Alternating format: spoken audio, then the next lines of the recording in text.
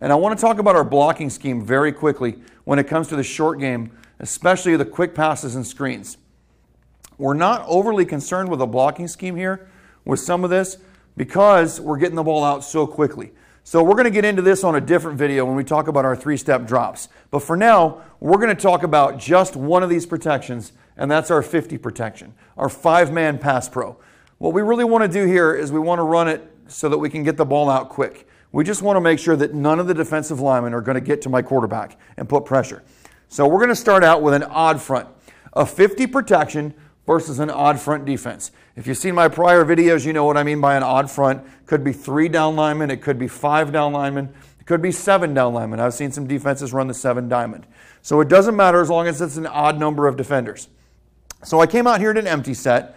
What we mean by this 50 protection is we're assuming that we have five men in protection. That's what the 50 starts with, the five. We have five men protecting our quarterback. We probably have five receivers out there somewhere.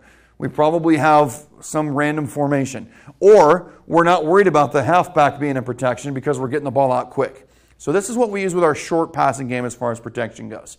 All right, for us, we want to make that 50 protection against an odd front as easy as we can. So what we're going to do is we're going to use a basic, basic protection for us. All right, I know it's a lot of cones and a lot of things to look at, but it really isn't as complicated as you might think. What we want to do up front is we want to have big on big blocking. Fat guy on fat guy. Some of you call it man to man. Some of you call it Bob, big on big. The key is for us, fat guy on fat guy. So our tackle is going to lock up on that defensive end. Our center is going to lock up on that nose guard. And our tackle over here is going to lock up on that defensive end. That's key. The fat guy on the fat guy. We want to make sure that we get those three fat guys blocked because these other guys have to come on a run. And that's all right. We want that to happen. Secondly, we have uncovered guards. So for us, we want to know what hand your quarterback throws with. If he's right handed or left handed, that matters. If I have a right handed quarterback, which most of you probably do, we want to make sure that we're going to protect to his blind side or his left. So that's what we're going to do here with this 50 protection. We are going to make sure that our guard is checking back to the left, and then our guard here is checking back to the left, looking for these two blitzers. That's his responsibility. Now, what we want to make sure we also do with these guards is check for this outside blitz. If this outside backer is coming, we want to make sure one of those guards can peel off and take care of them. That's why we have them in yellow.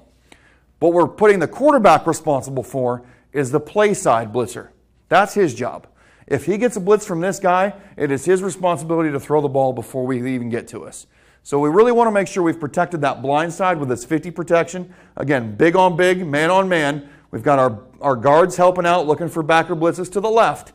But to the right, play side, that is on our quarterback. That's his responsibility. So that would be our 50 protection versus an odd front. All right, the other thing that we do is we have a 50 protection against an even front. Now, for us, a 50 against an even front, we use more of a slide protection. So now we've got four down linemen here, and even front, it could be six, it could be two. You guys know how all that works. But this case, we got a four man protection or four man in front. We still have the 50 call, meaning there's only five guys protecting. So we're going to make that 50 call, and we're going to be blocking these four down linemen first. Those are our primary concern. The backers will come second. So first of all, we want to make sure that we've got those backers blocked, or excuse me, those defensive linemen blocked. How do we do that? Tackle responsibility is man to man. That's his job. Tackle on end. Everybody else is going to slide back one gap. So what we've said is tackle, you're on your own in a 50. Everybody else is going to slide to the right, one gap. So his responsibility is C gap, B gap, A gap, A gap. This side B gap, quarterback, you're on your own. That would be a 50 protection versus an even front for us. So solo blocking here, everybody else slides back a gap. All right, this would be really good against a or with a left-handed quarterback. So he sees the blitz to the left, and we've got the protection here to the right. So just another way of getting into it with an even front, 50 and 51 is what we call it. A 50, we would slide, we'd have our man-to-man to the left and our slide to the right. In a 51, we'd have our man-to-man to the right and our slide to the left. So all we're doing is switching from an odd to an even number, whether we're going right or left. So that's our 50 protection.